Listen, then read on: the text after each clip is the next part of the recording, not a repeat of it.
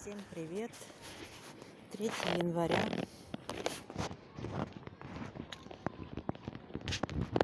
Я сегодня впервые одела свитерок.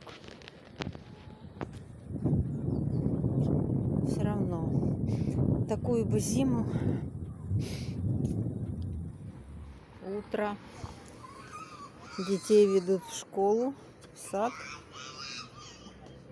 И судя по они очень туда хотят.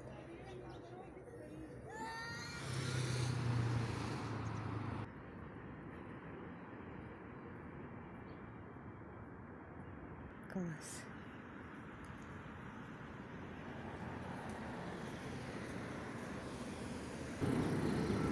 Я думала, что в Израиле никто балкон себе не утепляет.